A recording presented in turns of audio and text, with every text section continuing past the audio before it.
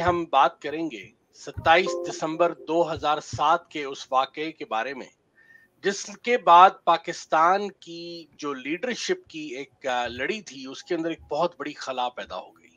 मोहतरमा बेनजीर भुट्टो को कुछ जालिमों ने शहीद तो कर दिया, लेकिन उस, उनको इस बात का ख्याल नहीं रहा कि वो पाकिस्तान के साथ कितनी बड़ी दुश्मनी कर रहे हैं। पाकिस्तान की तारीख का एक और अलमनाक बाब।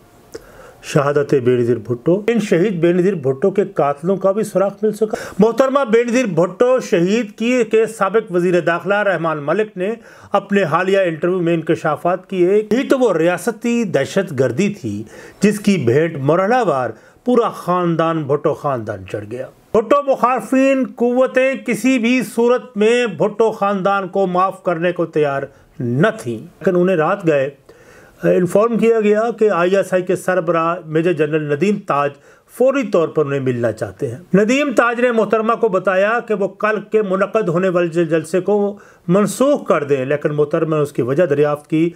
तो जनरल नदीम ताज ने कहा, उनकी जान को ख़तरा है। तो इस पर मोहतरमा ने कहा, अगर उन्हें दहशत गर्दों का इल्म है तो वो उन्हें गिरफ़्तार क्यों नहीं कर लेते? रहमान मलिक की वो बात, जो बड़ी अहमियत की हमल है कि उन्होंने कहा कि उन्होंने आठ लोगों को ट्रेस कर लिया था लेकिन वो जैसे ही किसी एक बंदे के पास पहुँचते हैं, वो बंदा खुफिया तरीके से कत्ल हो जाता है। जब अमरीकी वज़ीर खारजा कुंडा लिजराइस इसराइल के दारकूमत तलाबीब में rebirth of the Middle East के मनसूबे का ऐलान कर रही थी। नजीर भुट्टो ने अपने वतन वापसी के लिए बदकिस्मती से कुंडलाइजा राइस से ही जमानत मांगी, अपनी ज़िंदगी की जमानत मांगी और ऐसा करना खुद मौत की वादी में कदम रखने के मुतरदफ था।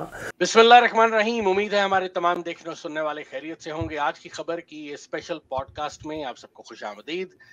आज की इस पॉडकास्ट में हम बात करेंगे 27 दिसंबर 2007 के उस वाकये के बारे में, जिसके बाद पाकिस्तान की जो लीडरशिप की एक लड़ी थी, उसके अंदर एक बहुत बड़ी खला पैदा हो गई। और तब से लेकर आज तक अगर ये कहा जाए कि हमें कोई लीडर नसीब नहीं हुआ तो गलत नहीं होगा। मोहतरमा बेनजीर भुट्टो को कुछ जालमों ने शहीद तो कर दिया, लेकिन उस उनको इस बात का ख्याल नहीं रहा कि वो पाकिस्तान के साथ कितनी बड़ी दुश्मनी कर रहे हैं। इसके क्या मुहरकत हो सकते थे? इसकी क्या वजूहत थी? और आज तक मोहतरमा के कातिलों की तक कोई क्यों नहीं पहुँच पाया? आ, कातिल लीग से शुरू होकर बैतुल्ला महसूद तक पहुँच तो गए हम लोग लेकिन इसके बारे में कोई हतमी राय आज तक कायम नहीं हो सकी। इसके बारे में हम आज की पॉडकास्ट में बात करेंगे।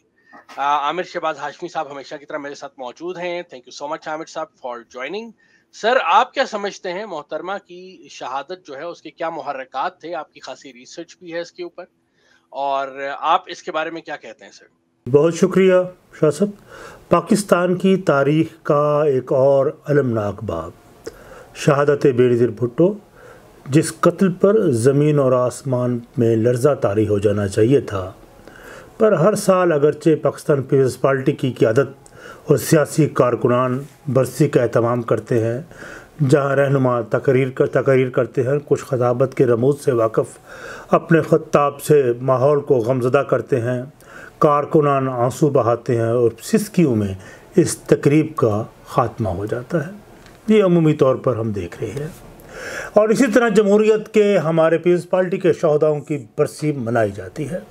लेकिन क्या इन शहीद बेनज़ीर भुट्टो के कातलों का भी सुराख मिल सका? वो आपकी बात बिल्कुल ठीक है। और क्या पाकिस्तान की आवाम फ़कत इसी बयानिए को तस्लीम कर ले कि टीटीपी के दो मिलिटेंट्स पंद्रह साल हुसैन गुल और रफ़ाकत हुसैन ने इसकी मनसूबाबंदी की फिर उन्होंने दूसरे कातलों बिलाल और इकरामुल्ला को कार, कुछ कारतूस दिए और पिस्तौल दिए, जिन्होंने बाद में बैतुल्ला मसूद प्लान के मुताबिक धमाके के बाद टारगेट करके स्नैपर के ज़रिए कत्ल करवा दिया। क्या इस बात को तस्लीम कर लेना चाहिए? मोहतरमा बेनजीर भुट्टो शहीद की के सबक वज़ीर दाखिला रहमान मलिक ने अपने हालिया इंटरव्यू में इंकशाफात किए कि बेनजीर भुट्टो के तमाम खैर खाओं और बाखबर लोगों ने उन्हें समझाने की कोशिश की थी कि वह पाकिस्तान न जाएँ, क्योंकि उन्हें जान को ख़तरा है। और सबसे दर्दनाक पहलू तो ये है कि मोहतरमा ख़ुद भी अपने पर कातलाना हमले से आगाह थी। यही तो वो रियासती दहशत गर्दी थी, जिसकी भेंट मरहलावार पूरा ख़ानदान, भुट्टो ख़ानदान चढ़ गया। जुल्फकार अली भुट्टो की फांसी से इस खौफनाक दहशत गर्दी का आगाज़ हुआ तो शाहनवाज भुट्टो को खुफिया एजेंसीज या उजरती कातलों के ज़रिए जहर देकर मार दिया गया। फिर मोहतरमा की शहादत से कुछ अर्सा कबल मुर्तज़ा भुट्टो का पुलिस मुकाबले में बेहमाना तरीके से कत्ल, उस पर तवील खामोशी और इस वारदात में भी मुलवस अफराद जो मुमकिन तौर पर गवाह बन सकते थे को भी कत्ल कर दिया गया और उस कत्ल पर भी मट्टी पड़ गई। भुट्टो मुखारफिन कुतें किसी भी सूरत में भुट्टो ख़ानदान को माफ़ करने को तैयार न थी। मोहतरमा बेनजीर भुट्टो शहीद के साथ अबू जहबी में जनरल परवेज़ मुशर्रफ के साथ खुफिया मुलाकात हुई थी, जो पंद्रह मिनट्स पर मुहित थी और ये उनकी शायद आखिरी मुलाकात थी। जिस मुलाकात में परवेज़ मुशरफ ने मोहतरमा बेनजीर भुट्टो साहबा को पाकिस्तान आने से मना किया था और मोहतरमा ने बग़ैर लगी लपटी इस पर जवाब दिया कि आप कौन होते हैं मुझे पाकिस्तान आने से रोकने वाले। इस पर परवेज़ मुशरफ ने जवाब दिया कि इस सूरत में मैं आपकी ज़िंदगी की ज़मानत नहीं दे सकता, लेकिन मोहतरमा पाकिस्तान अपने वतन वापस आने को बेचैन थी और अपनी आवाम में रहना चाहती थी। इस दौरान मोहतरमा को कुछ खुफिया की तरफ़ से सिक्योरिटी अलर्ट्स किया गया, लेकिन मोहतरमा ने इन तमाम धमकियों और इतलात के के वापस आने को ही उन्होंने तरजीह दी। 18 अक्टूबर 2007 को कराची एयरपोर्ट से बड़ी रैली की शक्ल में मोहतरमा निकलती हैं तो कारकुनान के जज्बात दीदनी थे। जुलूस के रास्ते में दो धमाके होते हैं, जिसमें एक सौ तिरानवे कारकुनान मौके पर शहीद हो गए और 450 के लगभग लोग जख्मी हुए। उन शहदा में 50 तो वो सिक्योरिटी पर मामूर कारकुनान थे, जिन्होंने हाथों की जंजीर से मोहतरमा बेनज़ीर को महफूज किया हुआ था। यह मोहतरमा पर पहला कारीवार था, जिस पर डेढ़ सौ ख़ानदानों के चराग गुल हो गए। और मोहतरमा के लिए यह पैगाम भी था कि अब उनकी ज़िंदगी ख़तरे की लाइन अबूर कर चुकी है और बेहतरी इसी में है कि वह वापस चली जाए। लेकिन मोहतरमा बेनज़ीर भुट्टो, इस बार एक आयरन लेडी के तौर पर मज़बूत आसाब लिए पाकिस्तान में एक नई जमहूरीत की तारीख रकम करने पर इरादा किया हुई थी। 26 दिसंबर की रात मोहतरमा बेनज़ीर भुट्टो एक थका देने वाले लंबी ड्राइव से इस्लामाबाद पहुँचती हैं और वो आराम करना चाहती थी। लेकिन उन्हें रात गए इन्फॉर्म किया गया कि आईएसआई के सरबरा मेजर जनरल नदीम ताज फौरी तौर पर उन्हें मिलना चाहते हैं। तो मुलाकात रात डेढ़ बजे फिर ड्राइंग रूम में हुई, जिसमें रहमान मलिक भी शामिल थे। नदीम ताज ने मोहतरमा को बताया कि वो कल के मुनद होने वाले जलसे को मनसूख कर दें, लेकिन मोहतरमा ने उसकी वजह दरियाफ्त की। तो जनरल नदीम ताज ने कहा, उनकी जान को ख़तरा है। तो इस पर मोहतरमा ने कहा, अगर उन्हें दहशत गर्दों का इल्म है तो वो उन्हें गिरफ़्तार क्यों नहीं कर लेते? तो इस पर जनरल ने जवाब दिया, इस तरह तो इन दहशत गर्दों को हमारे सोर्स का इलम हो जाएगा। मोहतरमा ने महज इसे धमकी ही समझा और कहा कि वो उनके और उनके दूसरे लोगों की हिफाजत का मुकम्मल बंदोबस्त करें। इस पर जनरल ने कहा, वो अपनी पूरी तमानाइयों के साथ ये फ़र्ज़ अदा करेंगे। इस बात का तस्करा बीबीसी के नुमाइंदे ओवन बोनट जोन्स ने अपनी किताब Bhutto dynasty, the struggle of power in Pakistan में किया। बड़ी तफसील से किया। बहरहाल, मोहतरमा अगले दिन से पैर साढ़े तीन बजे लियाकत बाग पहुँच गई और गेट की चाबी पुलिस सिक्योरिटी के पास ना होने की वजह से उन्हें गेट पर कुछ देर रुकना पड़ा और वो फिर उसके बाद स्टेज पे पहुँची और भी एक तारीखी स्पीच की, जिसने कारकुनों में वलवले पैदा किए। मोहतरमा अपना खिताब मुकम्मल करके जब वापस जाने लगी तो आवाम को खराज तहसीन पेश करते हुए वो गाड़ी के सन रूफ से उन्हें सर निकाला। क्यों ना निकालती? क्योंकि एक लीडर अवाम के बगैर तो नहीं रह सकते। ये जाली लीडर तो अवाम से दूर रह सकते हैं, मोहतरमा बेनज़ीर भुट्टो और जुल्फ़ार अली भुट्टो जैसे लोग अवाम में ही ज़िंदा रहना चाहते हैं और उन्हीं में ही मरना चाहते हैं।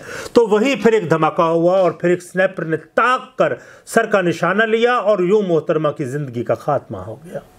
अब आते हैं रहमान मलिक की वो बात, जो बड़ी अहमियत की हमें है कि। उन्होंने कहा कि उन्होंने आठ लोगों को ट्रेस कर लिया था, लेकिन वो जैसे ही किसी एक बंदे के पास पहुँचते हैं, वो बंदा खुफिया तरीके से कत्ल हो जाता है। बिल्कुल उसी तरह, जिस तरह मुर्तज़ा भुट्टो के कातलों को एक एक करके कत्ल कर दिया गया। पुलिस के रजिस्टर टेम्पर कर दिए गए। जाए वकुआ को वारदात के बाद धो दिया गया। अगर उस वक्त के डीआईजी सऊद अज़ीज़ और एसएसपी खुरम को थर्ड डिग्री दी जाती, रवायती थर्ड डिग्री दी जाती तो कम अज़ कम उन मुलजमान तक ज़रूर पहुँचा जा सकता था, जिनके हुक्म पर जय वकूया को धोया गया। बहरहाल ये बात अभी ख़त्म नहीं हुई। मोहतरमा की शहादत उस वक्त हुई, जब अमरीकी वज़ीर खारजा कोंडा लिजराइस इसराइल के दारकूमत तलाबीब में rebirth of the Middle East के मनसूबे का ऐलान कर रही थी। ये गौर करने वाली बात है और प्लान भी यही था कि लबनान को फतह करके बजरिया शाम ईरान पहुँचा जाए। और हुआ भी ऐसे कि इसराइल को फिर एक उनके मंसूबों के बरक्स वहाँ लबनानी हिजबुल्ला से उनको सख्त मुजामत का सामना करना पड़ा, बल्कि इसराइल को वहाँ शिकस्त हुई और उनका मनसूबा खटाई में पड़ गया। बल्कि यूँ कहा कह सकते हैं कि वो अल्तवा में पड़ गया है। उनका मनसूबा था कि नए मशरक वस्ता में इसराइल को बिला शिरकत गैर मालिक बना दिया जाए और उनकी शराकत दारी में इंडिया को भी शामिल करना मकसूद था और पाकिस्तान को बेदस्त पा करके उसकी जैली रियासत बना देना भी उस मनसूबे का हिस्सा था। लेकिन इस खौफनाक मनसूबे की तकमील में रुकावट सबसे पहले बेनजीर भुट्टो की थी और बेनजीर भुट्टो ने अपने वतन वापसी के लिए बदकिस्मती से कोडोलाइजा राइस से ही जमानत मांगी, अपनी ज़िंदगी की ज़मानत मांगी और ऐसा करना खुद मौत की वादी में कदम रखने के मुतरदफ था। और बेनज़ीर भुट्टो जो इस सियासतदान की बेटी थी, जो अमरीकी साम्राज्य की आँखों में बुरी तरह खटकता था, और इसी अमेरिका के साम्राज्य एजेंडे की तकमील पर कारबंद अस्करी कुत के ज़रिए अदालती फैसले के ज़रिए उसको मौत के घाट उतारा गया था। मोहतरमा बेनज़ीर भुट्टो का कत्ल एक बैन अवी मनसूबा, ये मेरी, मैं समझता हूँ। और जिसमें एक बार नहीं, एक बार उन्हीं कुतों ने फिर उनका साथ दिया, जो हमेशा साम्राज्य एजेंडे की तकमील में अपना किरदार अदा करते हैं। जी। जी सर ये बातें आपने मुहरकत जो बयान की, ये तो बड़ी डिटेल थी, बड़ी ज़बरदस्त तरीके से, लेकिन इसके ऊपर कुछ हस्तियों के ऊपर इल्ज़ाम भी लगते हैं। जिस तरह से पहले काफली के ऊपर इल्ज़ाम लगे, जिनका नाम बाकायदा तौर पे मोहतरमा ने अपने जो खत था, आखिरी उसके अंदर भी लिखा। इसके बाद परवेज मुशरफ साहब जो है, उनके ऊपर भी इल्ज़ाम की एक वो एक पूरी तफसील मौजूद है। और इसके अलावा आसिफ अली जरदारी साहब के ऊपर भी एक उर्फ़, यानी आम आवाम के अंदर एक ये कम से कम एक सोच तो पाई जाती है कि उनके ऊपर भी ये इल्ज़ाम आता है कि वो भी शायद मुलविस थे। तो इन बातों में आप क्या समझते हैं कि कौन सी बात सच थी कौन सी बात हकीकत थी? बेसिकली हमें यह देखना है कि मुहर्रकात जब की बात हम करते हैं, उस पर गौर करते हैं तो सबसे पहले हमें यह देखना शाह साहब देखना चाहिए कि ये डिज़ाइंस किसके थे। और हम, मैं ये समझता हूँ कि ये एन उस वक्त rebirth of the Middle East का मनसूबा सामने था और पाकिस्तान के मुस्तबिल का भी तयन करने के लिए बैन अवी साजिशें मरतब हो रही थी तो उस वक्त उनके सामने एक शख्सियत तो ज़रूर थी जिसकी हुबल वतनी पर हम शक नहीं कर सकते, जो जीती पाकिस्तान के लिए थी और मरी भी पाकिस्तान की आवाम के लिए। वो किसी सूरत पे कंप्रोमाइज़ नहीं कर सकती थी। और मुमकिन हद तक अमेरिका को ये इस बात का भी एहसास हो गया था कि नए मुंदकत होने वाले पाकिस्तान के इलेक्शन में बेनज़ीर भुट्टो वाज अक्सरियत से कामयाब हो जाएँगी। तो अब उनके लिए ये सबसे बड़ी रुकावट होगी। सेम बिल्कुल उसी तरह कि शहीद जुल्फ़ार अली भुट्टो की शहादत से पहले बैर अवी तनाजुर में अगर आप देखें तो अफ़गानिस्तान में बसात बिच चुकी थी। अगर जुल्फ़ार अली भुट्टो ज़िंदा रहते तो अमेरिका खुल खेल के इस तरह अपनी गेम ना कर सकता। उसके सामने रुकावटें होती। तो जुल्फ़ार अली भुट्टो की मौत और उसकी फांसी इसी तनाजुर में थी, वो बैन अवी तनाजुर में थी। अब वो कौन से किरदार थे जिन्होंने उनका साथ दिया? वो उस पर हमें बात करने की ज़रूरत नहीं है। वो कोई भी हो, लेकिन उन्होंने उस बैन अवी साम्राज्य एजेंडे की तकमील में वो मददगार साबित हुए। वो ऐसे ही साबित हुए जब जिस तरह लियात अली खान का कत्ल हुआ। जिस तरह जुल्फ़ार अली भुट्टो का बेनज़ीर भुट्टो का इसी तरह ये, उसी तरह का एक, ये भी एक शाखसाना है, उसी बैन अवी तनासर में। क्योंकि आपको पता है कि लियात अली खान का कत्ल क्यों हुआ? क्योंकि जब बुडबेल में, पिशावर में हवाई अड्डे देने से इनकार कर दिया था अमेरिका को तो वहाँ उसका नतीजा लियात अली खान का कत्ल था। और भी महरक़ात थे। तो बहरहाल ये बैन अवी एक साजिश थी जिस पे बेनज़ीर भुट्टो शहीद उसकी भेंट चढ़ गई। और ख़ा वो परवेज़ मुशरफ अगरचे बेनज़ीर भुट्टो मोहतरमा ने उस दौर में दस लोगों का नाम गिनवाए थे जिसमें ब्रिगेडियर एजाज शाह परवेज़ मुशर्रफ परवेज़ इलाही और ये कुछ और लोग भी थे। लेकिन आ, मैं ये समझता हूँ कि अगर हम वो तो बेनजीर भुट्टो थी और उनको इल्म भी था कि ये कातलाना हमला उन पर होगा। लेकिन लीडर तो वही होता है जो बेखौफ होकर अपना किरदार अदा करे। लेकिन बहरहाल, एक बहुत बड़ा अलमिया, एक बहुत बड़ी ट्रेजडी पाकिस्तान की सियासत में हुई। एक बहुत बड़ा वैक्यूम ऐसा पैदा हुआ कि जिसको फिल करना, पूरा करना अब बहुत मुश्किल नज़र आता है हमें। जी। नहीं, बिल्कुल आपने इसे दुरुस्त फरमाया और ये चीज़ शायद कत्ल करने वालों को ख़ास तौर से उन लोगों को जो हमारे ही मुल्क के आल, के लोग जो आलाय कार बनते हैं जो हाथ बनते हैं उनको शायद इस बात का अंदाज़ा नहीं होता कि वो मुल्क को और कौम को कितना बड़ा नुकसान पहुँचा रहे हैं। मोहतरमा बेनज़ीर भुट्टो बेशक के हमारे दरमियान अब मौजूद नहीं है उनकी यादें मौजूद हैं खाली। आ, लेकिन आज इस बात का एहसास ज़रूर होता है स्पेशली मौजूदा सियासी लीडरशिप को देखकर इस बात का एहसास ज़रूर होता है कि अगर शायद मोहतरमा आज हमारे पास, हमारे दरमियान होती तो सूरत हाल खासी मुख्तलिफ़ होती। उसी तरह से जिस तरह हम जुल्फ़िकार अली भुट्टो साहब के बारे में ऐसा सोचते हैं, लियाकत अली खान साहब के बारे में ऐसा सोचते हैं, या फिर कायद अजम मोहम्मद अली जना, जिनके भी एक डेफिनेटली एक बात की जाती है कि उनको भी एक साजिश के तहत उनकी एंबुलेंस को अस्पताल नहीं पहुँचने दिया गया। तो इसके ऊपर भी इंशाल्लाह ताला किसी पॉडकास्ट में ज़रूर बात करेंगे कि इन तमाम बड़ी हस्तियाँ जो पाकिस्तान के बड़े लीडर्स थे, उनकी असैसिनेशन के पीछे कौन था, कैसे था, और उनके क्या महरक़ात थे। इंशाल्लाह ताला आने वाले वक्त में इस पर भी बात करेंगे। फ़िलहाल आपसे इजाज़त चाहते हैं, अपना ख्याल रखिएगा, अपने अतराफ के लोगों का ख्याल रखिएगा, खुश रहिए, आबाद रहिए। पाकिस्तान जिंदाबाद, खुदा हाफिज़।